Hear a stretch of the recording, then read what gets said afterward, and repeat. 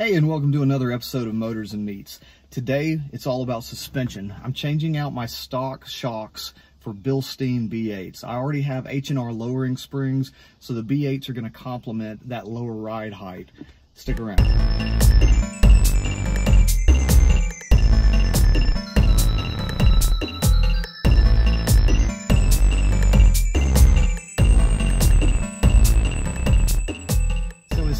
Got back home from my big road trip from the Rockies to the Smokies, which if you haven't seen that, you need to go check out that video. I got back home, the next morning I woke up, came out to the car and there was a puddle of oil around the front driver's side wheel. I was like, that's a strange place for some oil to be, right?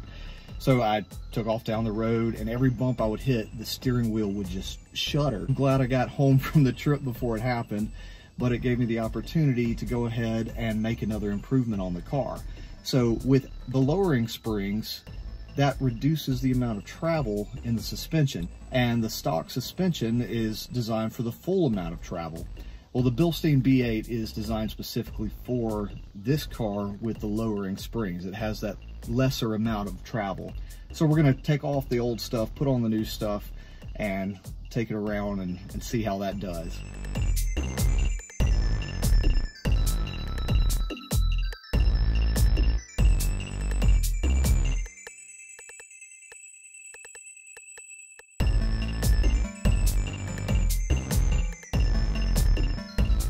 With the wheel off, the next thing we need to do is take off this caliper and I need to get something to hang it with like some rope or whatever so that we don't put any strain on the brake lines. You can see while we're under here how oily everything is from this shock that's blown out. It made a really big mess and then of course the stain that it left on my concrete that I haven't yet gotten fully absorbed. What a mess. All right, so with the caliper removed and just hanging here by some rope so that we don't put any strain on this, next we need to remove this bolt here this nut that holds on the sway bar drop link and the bottom of the strut tower shaft thing itself.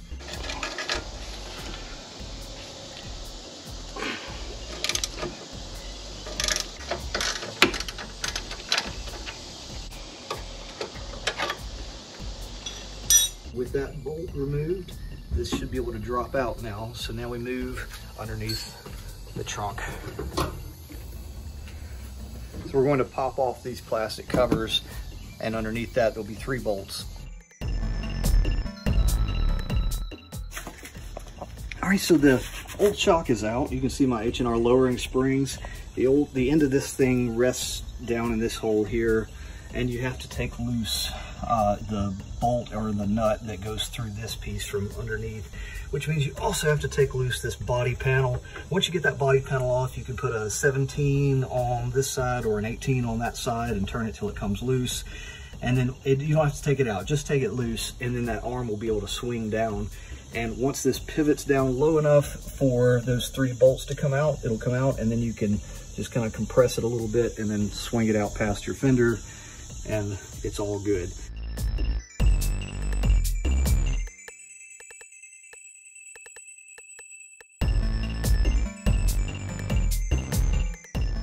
So we finished up with our front shocks. We're moving on to the back. That means we have to climb into the cramped back seat and remove this carpet so we can get to where the top mount's attached.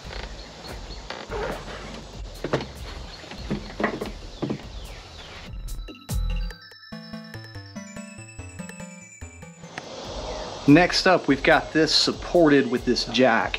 And while it's supported, we're going to come in and release those three nuts that are on top of the strut tower. And then after that, we'll begin to lower everything down. We may have to take something else off. We'll pick that up in a moment. Well, one way to go through a lot of laundry is to try to do work like this in the Mississippi heat. It's 95 degrees today with a heat index of 103. So uh, yeah, this is my fourth shirt, I think. Anyway, it's looking good. I have one left to do. And here's what we have so far on this guy here, new Bilstein previously installed H&R lowering springs. Everything's back together. So we'll do a quick time lapse of the other side so you can see the whole thing, then we'll go take a drive.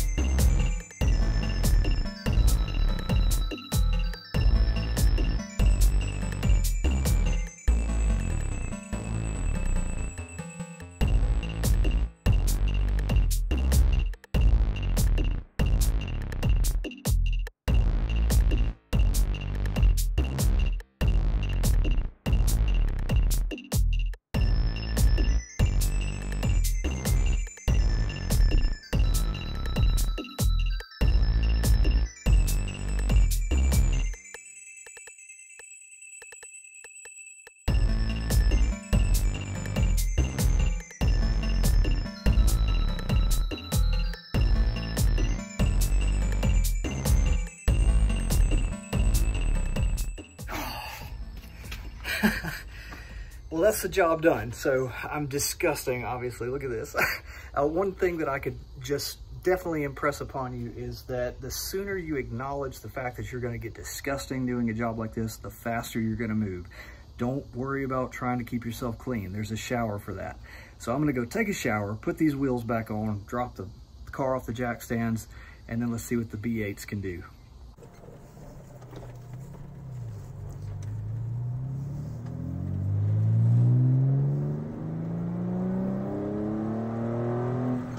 First impression, going through a rough parking lot back there, I could feel every little bump. So noticeably stiffer than what it was, even though the spring situation is the exact same as it was before I changed out my shocks.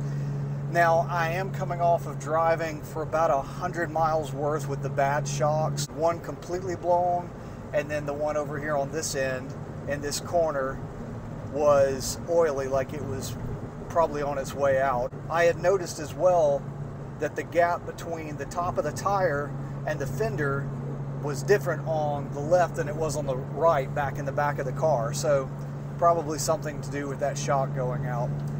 Another thing I've noticed, let's get a good downshift. The squat doesn't really happen now. It stays level. And then same thing on braking it doesn't nosedive near as badly. Oh, this is great. I cannot wait to get this back out onto the track or the tail of the dragon or something where I can really test it. So far, my good curvy road seems just wonderful. Oh, yeah. this road is not bumpy really at all, but it's not a perfect road surface either. So it does have a few dips and bumps in it, and I'm just really not noticing any discomfort or anything. One of the things I love about a 911 is how you can accelerate towards a corner, and if it's not one that's sharp enough to warrant braking, you can just lift the throttle right before turning in and it will just dive right in and it feels very very sharp right now so to really test its capabilities I'm gonna need to go back to the track and have another track day, which that doesn't bother me at all. So there's a rough bridge coming up here in about four seconds. I want to see what this feels like.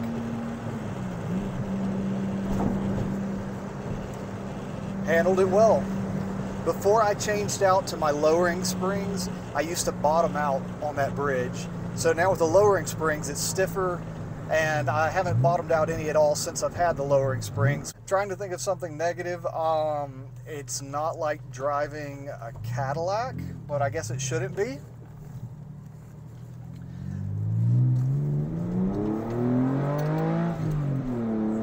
The stock shocks were on this car whenever I bought it, and it was at 105,000 miles. Now it's at 141,000 miles, and 15,000 of that was with the lowering springs.